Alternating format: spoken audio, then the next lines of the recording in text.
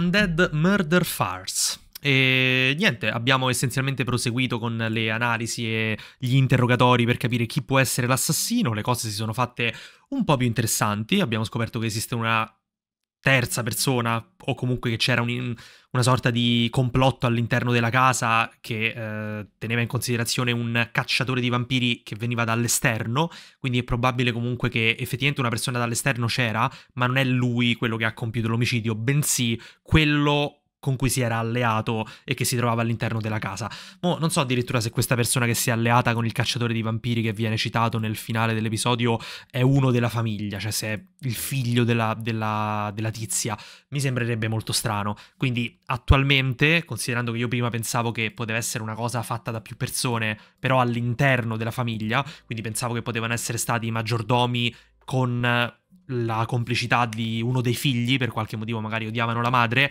adesso mi verrebbe da pensare che mh, i figli probabilmente non c'entrano e che è stato il cacciatore di vampiri che veniva dall'esterno, questo tizio qua, uh, in combutta con uh, uno dei maggiordomi. E visto che ci siamo, potrebbe essere, io la butto lì, che effettivamente il maggiordomo con cui è in combutta è proprio lui, è proprio Alfred. Perché, sia perché in realtà mi ricorda il cacciatore di vampiri, quest'Alfred, cioè considerata l'età e anche il tipo di faccia mi sembrano simili, il cacciatore che ci hanno fatto vedere nel finale ed Alfred, e anche perché in effetti cioè, potrebbe avere senso, magari potrebbe essere il fratello di Alfred, e per questo Alfred si è voluto vendicare o comunque ha voluto allearsi per qualche motivo.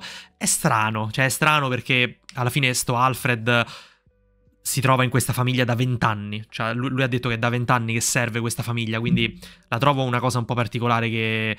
Cioè, no, non credo che abbia fatto tutto sto casino per... solamente per uccidere un vampiro, probabilmente ci sono altri motivi dietro.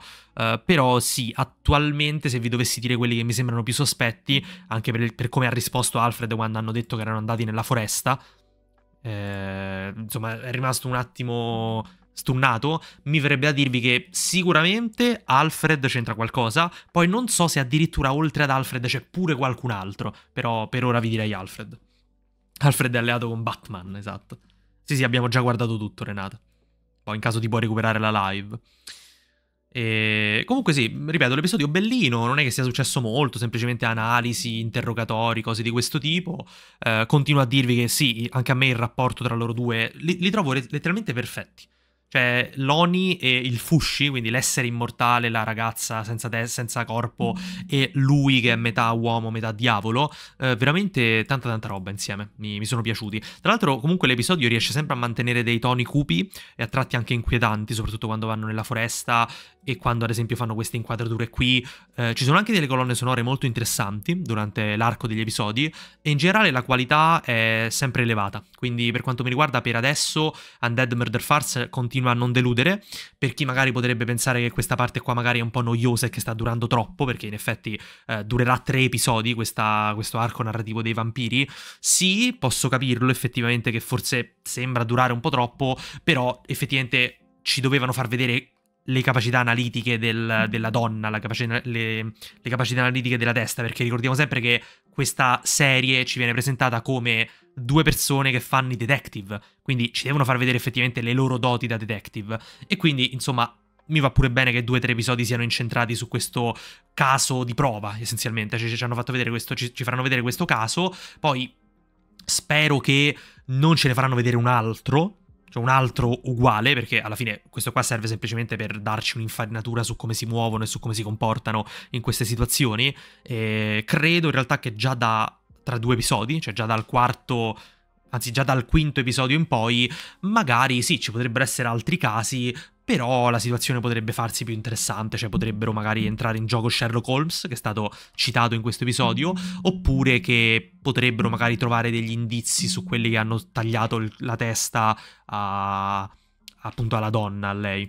Quindi sì, per quanto mi riguarda vi direi o lo stesso voto della scorsa volta o qualcosina in meno, tipo 0,25 in meno. E, ah, e tra l'altro dovremmo decidere se continuarlo, perché in effetti siamo arrivati al terzo episodio anche di Undead Murder Farce.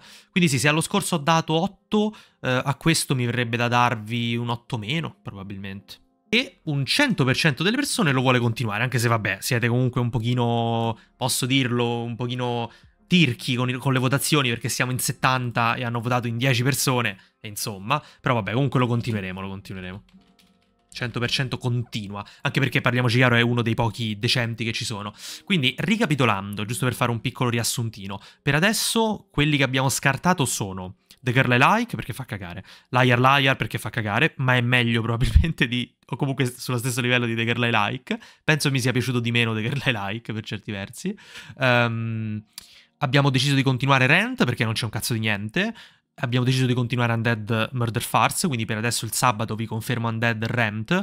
I due, che teoricamente sono in dubbio, eh, sono eh, Dark Gathering ed Elk, quindi i prossimi che proveremo a vedere se li continueremo oppure no, sono Dark Gathering ed Elk. Letteralmente non c'erano proprio altri anime da provare a continuare. Ci sarebbe Tempuru, se proprio vogliamo proprio fare una seratona incredibile, però io mi verrebbe da dirvi che, boh, Tempuru non credo che si meriti la regola dei tre episodi, però volendo potremmo pure provare, e letteralmente non c'è nient'altro. Un pochino mi dispiace per, per My Happy Marriage.